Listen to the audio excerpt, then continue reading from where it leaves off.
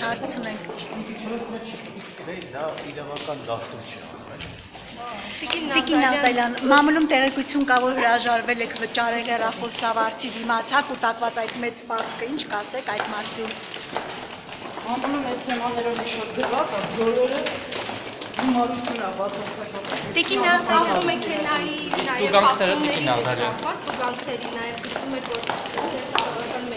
մամուլում գրված ինչ որ վերաբերվում է այդ թեմաները, բոլորը ստատ են։ Ձեր արդեն արդյունքը իրավունք ձերքել եք ֆինալը։ Իմ վարորդը իր խնդիրներ ունի, իր խնդիրները լուծում։ Տիկին Նատալյան ասում են Բարում է շարունակել բարի մեքենան։ Ոչ, չի շարունակվում։ Այսինքն ձերքել են արդյունքան իրավունք։ Տիկին Նատալյան ասում են պարոն Բաբլյանին ասել եք որ սնանկ եք հազիվ ձեր վարկերն եք որ դրանք ասում են, դրանց հարցրեք, ես նման բաներ ձեզանից եմ լսում եւ դրանց ընդամենը մեկ որակում ունի։ Այսինքն լավ է ձեր բիզնեսի վիճակը։